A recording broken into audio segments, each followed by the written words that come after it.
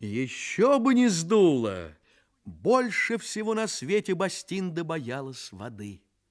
А дело все в том, что в волшебной книге было написано, что властительница фиолетовой страны погибнет от воды и только от воды. Вот почему уже триста лет старуха не умывалась и даже не чистила зубы.